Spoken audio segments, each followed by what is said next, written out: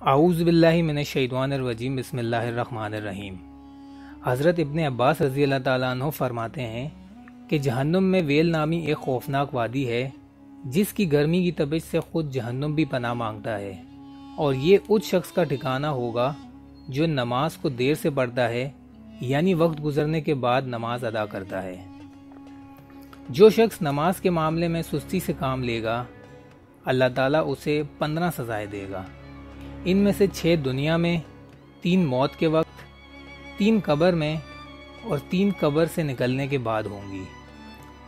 दुनिया की छः सज़ाएँ ये हैं कि अल्लाह ताला उसकी उम्र से बरकत ख़त्म कर देगा। अल्लाह ताला उसके चेहरे से नेक लोगों की अलामत मिटा देगा। अल्लाह ताला उसके किसी अमल पर अजर सवाब नहीं देगा। उसकी कोई दुआ अल्लाह ताला आसमान तक बुलंद ना होने देगा। दुनिया में मखलूक इससे नफ़रत करेगी नेक लोगों की दुआ में उसका कोई हिस्सा ना होगा। मौत के वक्त अल्लाह ताला उस पर ये तीन सज़ाएँ मुसलत करेगा। पहली सज़ा यह है कि वो जलील होकर मरेगा।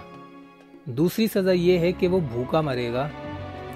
और तीसरी सज़ा यह है कि मौत के वक्त उसे इस शिद्दत की प्यास लगेगी कि अगर सारे दरिया का पानी भी पी ले तो भी उसकी प्यास नहीं बुझेगी। कब्र के वक्त अल्लाह ताला उस पर ये तीन सज़ाएँ मुसलत करेगा। अल्लाह ताला उस पर उसकी कब्र तंग कर देगा। उसकी कब्र में आग भड़का दी जाएगी, जिसके अंगारों में वो दिन रात जलता रहेगा। उस पर एक अजदा मुसलत कर दिया जाएगा, जो उसे फजर की नमाज़ छोड़ने पर फजर से जहर तक और जहर की नमाज़ छोड़ने पर जहर से असर तक। इसी तरह असर से मगरिब तक, मगरिब से ईशा तक और ईशा से फजर तक डसता रहेगा।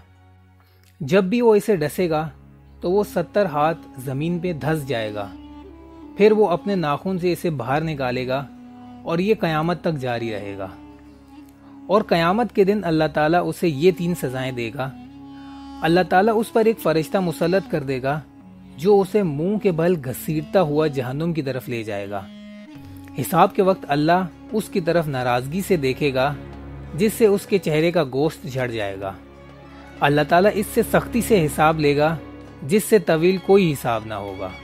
अल्लाह ताला हमें नमाज़ कायम करने की तोफ़ी अदा फ़रमाए और कहने सुनने से ज़्यादा अमल करने की तोफ़ी अदा फ़रमाए। आमीन।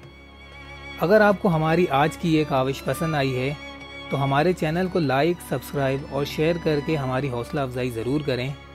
इन नेक्स्ट वीडियो में दोबारा हाजिर होंगे। अल्लाह हाफिज़।